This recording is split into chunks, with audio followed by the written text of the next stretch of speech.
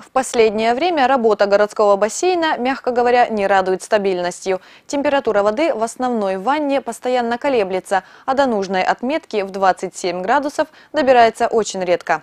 Решить эту проблему раз и навсегда еще до начала нового 2017 года твердо намерен глава администрации Александр Левченко.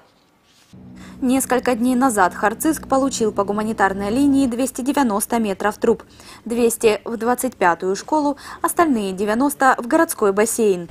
Установка новых труб, уверены в город администрации, надолго решит проблемы с теплоснабжением этих учреждений. На обоих объектах линию замены кладут параллельно основной магистрали, а на переподключение достаточно будет одного дня.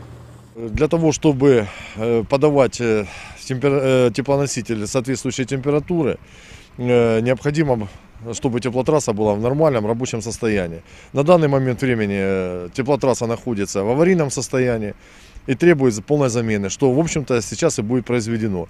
Получена по гуманитарной линии труба, которая будет передана теплотехсервису, и этим материалом будут произведены работы.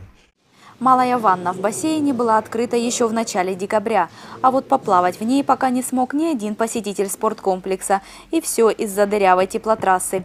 Теперь, после замены трубы, воду в лягушатнике можно будет нагреть до нужного уровня, то есть до 31 градуса. Все работы по замене труб, как и в бассейне, так и в 25-й школе, ремонтники планируют закончить до конца текущего года.